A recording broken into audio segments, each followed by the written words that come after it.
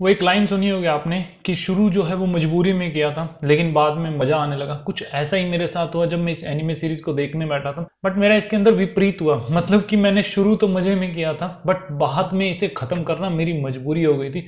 नमस्कार दोस्तों, इस वीडियो में बात करने वाला हूँ ग्रेट प्रिटेंडर एनिमे सीरीज़ के बारे में। टोटल इसके अंदर तेईस एपिसोड है। इस सीरीज़ की शुरुआत में मैंने लगभग 16 से 17 एपिसोड देख लिए थे, लेकिन बाद के जो मैंने इसको देखने के बाद जो लास्ट के कुछ एपिसोड बच गए थे, वो मैंने नहीं देखे थे। तो वो उनको देखना एक तरीके से सरदर्दी हो गई थी। यार मतलब वो झेला नहीं जा रहा था मुझसे। इस सीरीज़ के अंदर कुछ अच्छी बातें और ज़्यादातर बुरी बातें हैं। तो चलिए इसके बारे में बात कर लेते हैं। फ़र्स्ट ऑफ़ ऑल इसकी कहानी, या मैं कहूँ कि जिस चीज़ के ऊपर ये बेस्ड है, उसके बारे में बात करते हैं। तो एक टीम होती है कुछ लोगों की, यानी कौन आर्टिस्ट होते हैं। कौन आर्टिस्ट का मतलब है जो लोगों को ठगते हैं एक्टिंग के ज़रिए। देखो स्टार्टिंग में मुझे काफ़ी इंटरेस्टिंग लगा था ये टॉपिक बट बाद में थोड़ा सा यार मतलब समझ रहे हो ना? इस टीम में टोटल चार जो मुख्य सदस्य उनके बारे में बात कर लेते हैं। देखो, एक होता है लोरेंट एक समझ लो, एक तरीके से ये एक लीडर है इस टीम के अंदर। यही सारी की सारी प्लानिंग यही करते हैं। दूसरे नंबर पे आता है अदामा में। अदामा में यही है ना।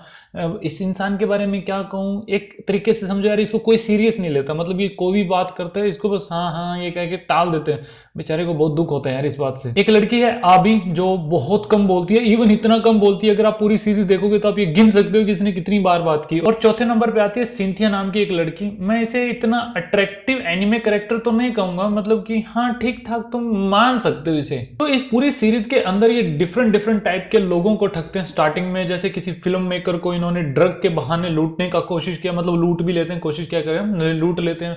फिर ये किसी सऊदी प्रिंस को लूटने की कोशिश करते हैं। फिर से क्या कह रहा हूँ, कोशिश करते हैं इवन वो लूट लेते हैं। और फिर एक पेंटर होता है पेंटर नहीं, जो पेंटिंग खरीदता है, उसको ये लूटते हैं। तो ये डिफरेंट डिफरेंट टाइप की इसके अंदर स्टोरीज दिखाई गई हैं। और इस सीरीज़ की मुझे एक अच्छी बात यह लगी कि इसमें साथ ही साथ जो चारों जो करेक्टर है लोरेंट एदमा में एबी सिंथिया इनकी बैक स्टोरी भी दिखाई गई है। मतलब इनके साथ ऐसा क्या हुआ था कि ये इसमें इस काम में आ गए, ये जो ठग बन गए, इनके साथ साथ ये स्टोरी चलती है और काफ़ी अच्छा लगा कि ये सब चीज़ें दिखाकर हमें इन करेक्टर के साथ जोड़ा जा रहा है। अब देखो यार, जहाँ पर एनिमे मूवी की बात होती है और खासकर ऐसी एनिमे मूवी जिसके अंदर चोरी दिखाई गई हो तो वो यार उसके अंदर फ्रीडम बहुत ज़्यादा आ जाती है अपने मतलब एक तरीके से क्रिएटिविटी को दिखाने की। जहाँ जो चीज़ें लाइव एक्शन मूवी के अंदर पॉसिबल नहीं होती। वो चीज़ें एनिमे मूवी में पॉसिबल हो सकती है। इवन उससे ज़्यादा फ्रीडम मिल जाती है उसको अच्छे से रिप्रेजेंट करने के लिए। यार कुछ ऐसे सीन ऐसे सस्पेंस डालने चाहिए कि जिसे देखकर हम हैरान हो जाएँ। या फिर मैं कहूँगी इसे और ज़्यादा मज़ेदार भी बनाया जा सकता है, क्योंकि ये एनिमे मूवी है और इसके अंदर कुछ भी पॉसिबल है। यार ऐसी चीज़ें इसके अंदर पॉसिबल हो सकती हैं जो मैंने कहा ना कि लाइव एक्शन मूवी में पॉसिबल नहीं होती। बट इस मूवी में यार ये सब चीज़ें ना इसमें यूज़ नहीं की गई। मुझे लगता है कि जो इसके मेकर्स हैं, ये एनिमे की पावर ये भूल गए थे कि एनिमे में क्या क्या चीज़ें कर सकते हैं। ऐसा नहीं है कि ये बिल्कुल इन्होंने यूज़ नहीं की, इन्होंने यूज़ की बट जहाँ पर इन्होंने यूज़ की ना, काफ़ी ज़्यादा टाइम निकल जाता है मतलब कि इंसान को बहुत ज़्यादा वेट करना पड़ जाता है उस लेवल तक पहुँचने पहुँचने में। और ये काफ़ी ज़्यादा बोरिंग होता है, काफ़ी ज़्यादा पेशेंस रखने पड़ते हैं। अब पेशेंस भी रखे, अगर उसके अंदर सस्पेंस बना रहे, लेकिन ऐसा कुछ नहीं होता। जो चोरी जो इसके अंदर दिखाई गई यार, इतनी आम थी, इतनी नॉर्मल थी यार, उसको देखकर आप कुछ भी प्रिडिक्ट कर मतलब कुछ भी क्या जो प्रिडिक्ट कर ही सकते हो। यार देखो, कोई सस्पेंस वाली मूवी होती है कोई चोरी वाली मूवी होती है एनिमे की बात करें देखो, उसके अंदर अगर आप सिंपल सी स्टोरी रखते हो ना, उसमें इतना इंटरेस्ट नहीं आ पाता। लेकिन जहाँ पर आप उसके अंदर सस्पेंस बना पाते हो और ऐसा सस्पेंस बना पाते हो, ऐसी स्टोरी उसके अंदर क्रिएट कर पाते हो कि सामने वाला सोच ही ना पाए कि आने वाले सीन में क्या होने वाला है। लेकिन ऐसा इस मूवी में बिल्कुल भी नहीं था। इसमें बकायदा यार आप जब सीन देख रहे होंगे, जब चीज़ें सीरीज़ जैसे चल रही होगी आपके सामने, आप प्रिडिक्ट कर जाओगे कि हाँ यार, यही होने वाला है साथ में और वही चीज़ होती है। सबसे बड़ा वीक पॉइंट था इस एनिमे सीरीज़ का। ऊपर से इसके अंदर तेईस एपिसोड डालना यार। कसम से ये काफ़ी ज़्यादा सरदर्दी थी। चाहे तो अगर तुम इसके लास्ट के कुछ पाँच या छह एपिसोड ही देख लो ना, वो काफ़ी ज़्यादा अच्छे हैं। उन्हीं के बल पे मैं कह सकता हूँ कि ये एनिमे सीरीज़ के अंदर लास्ट का मैं इसको झेल पाया था। अगर ये लास्ट के एपिसोड तुम देख लो ना बस, बहुत हुआ तुम्हें इस पूरी कहानी को समझ जाओगे, इस पूरी एनिमे को समझ जाओगे, क्योंकि लास्ट के कुछ एपिसोड में बैक जो फ़र्स्ट में वो कैसे मिले थे, सारी चीज़ें वो लास्ट में दिखाते हैं। मतलब एक तरीके से समझ लो कि मिल मेल मिलाव दिखाया जाता है लास्ट के अंदर। अब मैं ऐसा नहीं कह रहा हूँ कि यार ये एनिमे बहुत ज़्यादा बुरा है, लेकिन हाँ काफ़ी लोगों को पसंद आ भी सकता है। बट जिन्होंने बहुत अच्छा एनिमे देख रखा है, और इवन मैं जब जो चीज़ें मैं देख रहा हूँ, वहाँ पर बहुत ज़्यादा अच्छी अच्छी एनिमे सीरीज़ में देख रहा हूँ तो अगर उसका कंपेरिजन में हो जाता है ऑटोमेटिकली आपके दिमाग में उस चीज़ का असर पड़ जाता है कि आप बहुत अच्छा देखते हो, फिर एकदम से ऐसी चीज़ों को देखना शुरू करते हो जहाँ पर आपको इंटरेस्ट नहीं बन रहा था।